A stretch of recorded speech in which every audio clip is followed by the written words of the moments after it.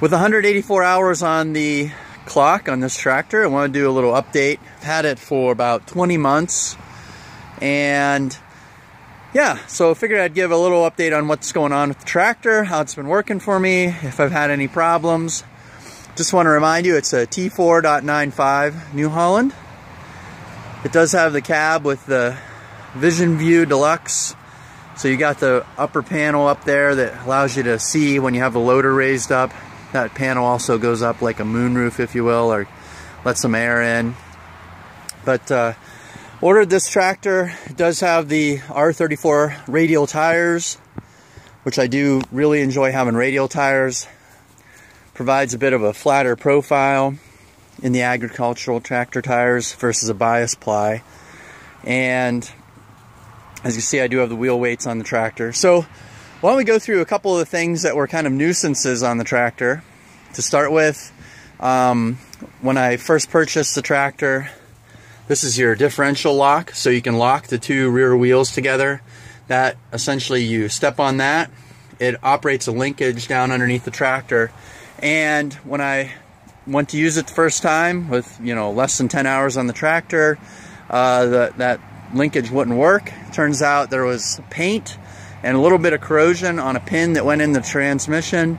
It took me 25 minutes to find that pin and uh, work it a little bit, put some uh, lubricant on it. Haven't had a problem since, but you know, it was something that wasn't working when I first got the tractor and I was able to resolve that myself. Um, second thing, you can see you got your grab handle here and you've got your light and that's mounted to a bracket. You can kind of see I've taped this plastic cover here um, can fall off. It's got little clips to snap over the front piece that won't fall off because it's bolted through. Uh, but this uh, back piece fell off. I'd lost that, so my dealer replaced that without issue. But I just looked at it when I snapped it on and I looked at the other side and said, you know what?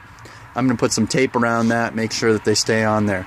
It's no big deal if the cover comes off. Uh, it just exposes the screw heads or the bolt heads. But when you go to grab into the tractor, if you grab a hold of it or accidentally hit it, this is at least smooth. You know, you got smooth plastic. The other way, you've got like kind of exposed sharp edges. So that was kind of a nuisance as well.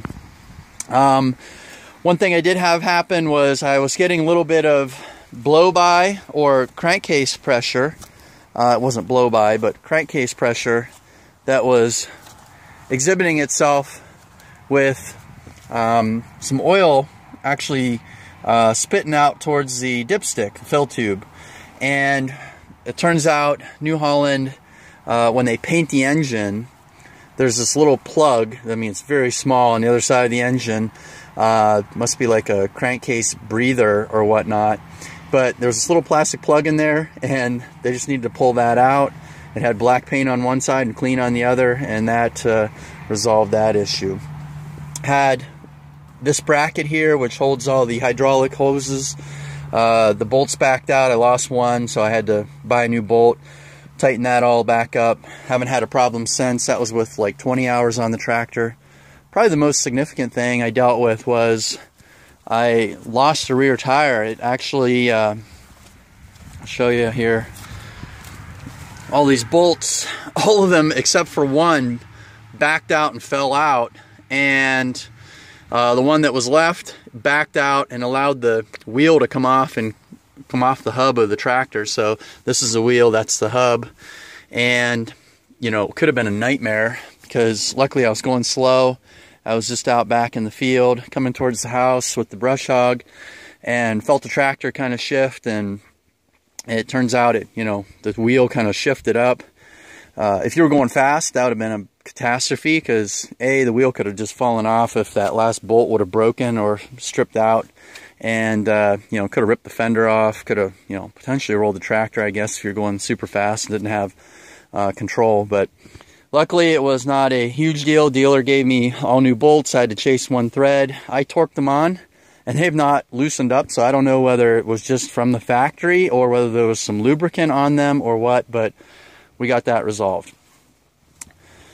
So, everything else has been good. Um, you know, uh, it's, you know, got a nice filter there. That's easy to get at. The engine oil filter, however, is located behind this panel. That's not the problem. It's just the fact that there's a bracket in the way once you get behind here.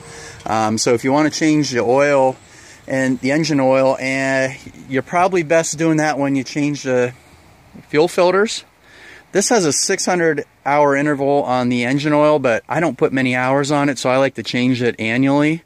Uh, so what I'm going to do is drop the fuel filters, which are located behind this panel as well, pull those off, pull the engine oil filter, put the engine, new engine oil filter on, then fill up the new uh, fuel filters. You do want to fill them up. It won't prime itself uh, with that kind of volume being required put them on, and you'll be in a lot better shape. That was something that New Holland could have done a better job with. So, some things that are working out well. Well, the rest of the tractor, it's it's been a great tractor for me. Um, I do use uh, a rear remote circuit to run this plow, the hydraulic angle on it. Uh, so I'm running that off the rear remote. If I, you know, had been able to buy a tractor the, that actually had the loader control with that third remote option on it, I would have, but uh, there wasn't one out there. So I might look at that in the future.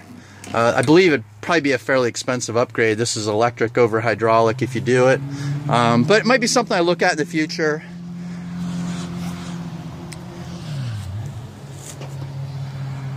So this does have an emissions package on it. So it's got a diesel particulate filter. And depending on what I'm doing with it. If it's idling a lot, I'm not putting a lot of stress on the engine. It tends to go into a regeneration a little more often. I can't even tell you how many hours it is that goes between regenerations. I mean, I was brush hogging for, you know, weekend after weekend and it never went into one. Um, I started doing some idling and it did. So, but it's fairly unobtrusive. You do know the exhaust gets warm. Um, but it is nice because the tractor doesn't smoke. Uh, that's one of the benefits of a diesel particulate filter. This does not have selective catalytic reduction, um, so there's no diesel exhaust fluid that gets put into it. Uh, that was on the next uh, model year out. Another improvement I may make, you can see kind of that up right there and that up right there. Um, I would like to put a little bit of a grill across the front just in case I ever have a stick come up. Uh, sometimes when I'm brush hogging a trail or mowing a trail, you get some sticks and I really don't want to drive anything through the radiator. Loader's been very powerful. I've got the mechanical self-leveling. It has 3,600 plus pounds of uh, lift capacity, you know, 36 inches or I forget how far in front of the pins. Um, I do have the quick attach system here so you can see I fabricated this plate up for use with my snowplow. I've never taken the loader off. They say it's fairly easy, but I think you'd want to make sure everything's on a level surface. You can see kind of the parking stands for the loader. I have changed the hydraulic oil, engine oil, um, the transmission filter, uh, fuel filters.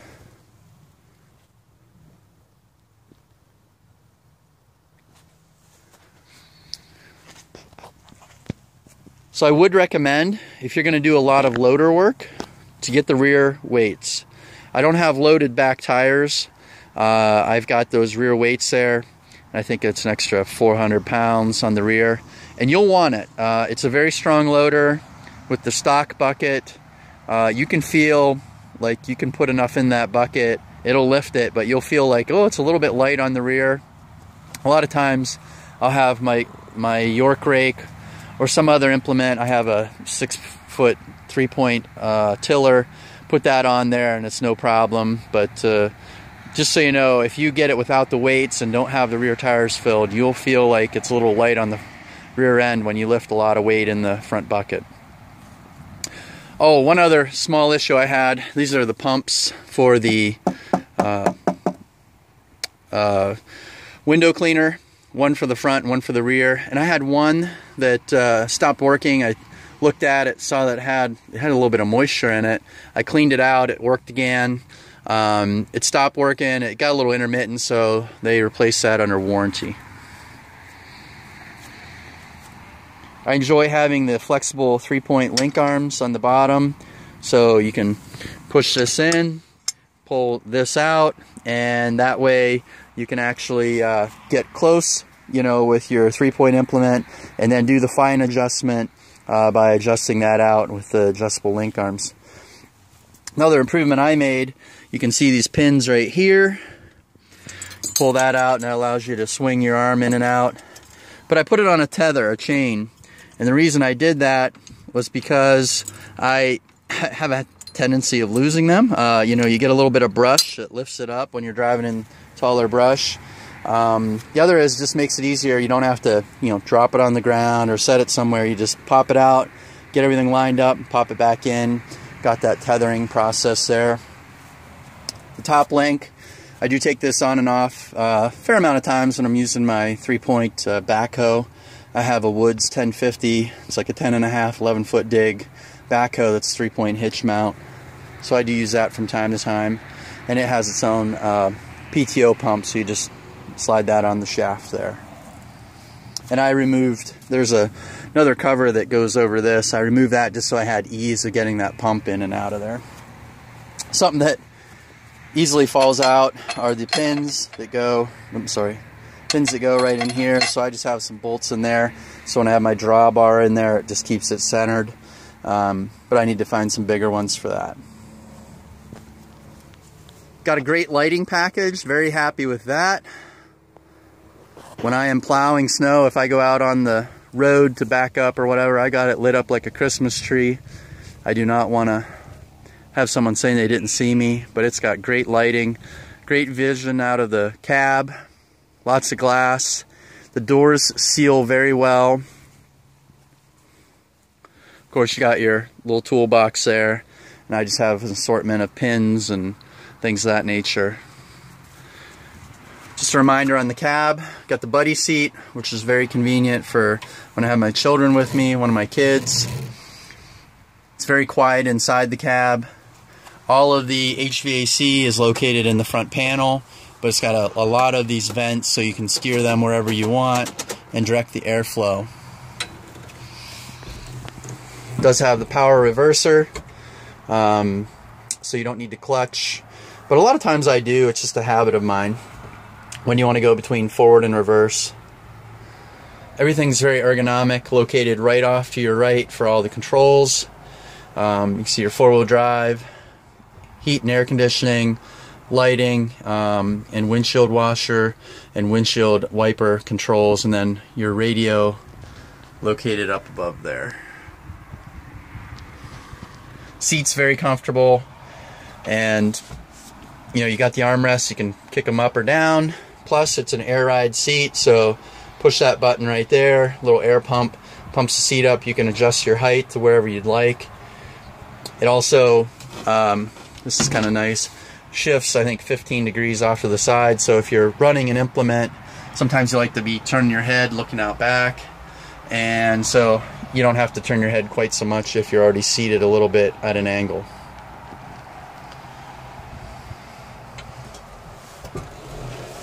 This does have the 540E, so economy. So it's got a, basically a two-speed PTO. Uh, when I'm not in economy mode, it puts it at a higher horsepower and higher engine RPM range to get 540 out of the PTO. I run it in economy mode 90% of the time. Uh, it's sufficient for you know mowing through normal grass and you know stuff up to 18 inches tall or when I'm running my PTO generator or even my three-point tiller. And it saves fuel. I do track my fuel consumption in hours and when I'm doing light mowing or things of that nature, it's about a gallon an hour. If I'm in heavy, thick stuff, going a little bit slower, you know, running a little bit harder, uh, it goes up over a gallon an hour. But uh, I'm very happy with the fuel performance. I mean, as I said, this is a powerful tractor. It's like 98 engine horsepower and um, 82 or 84. 80, I think it's 82 on the PTO. I like it that it's taller, sits up a bit. gives you good vision. We'll probably need to go back in here. I want to show you this. So a nice feature of this tractor is you can see the hood is sloped and you can see right in front of the the tractor. Uh, I can see my plow, I can see what's going on when I have the bucket on, I can see what's going on. You know, lean forward just a whisker and you can really see. So they've done a nice job of sloping that hood.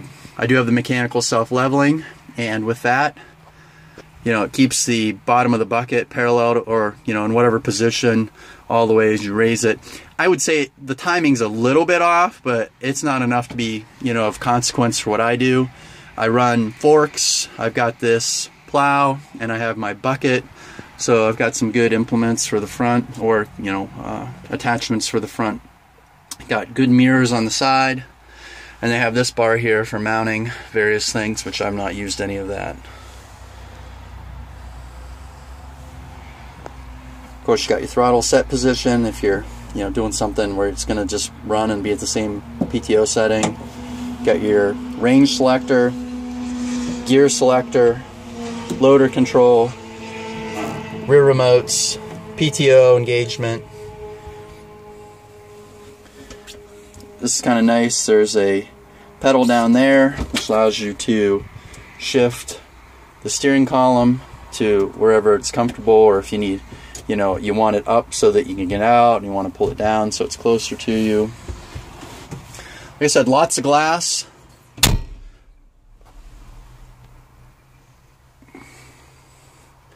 So visibility is very good. No water comes in the cab. Seals are great. This is kind of the feature of when you've got your loader going up Normally with a cab tractor you can't see it up there, but now because they've given you this high-vis panel, uh, you can see it.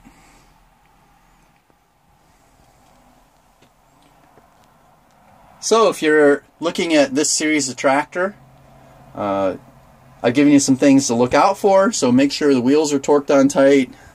Um, you know, make sure the bolts are tight. That's something that, in general, it just seems like in shipping, things can come loose and just check it out real well before you get it home.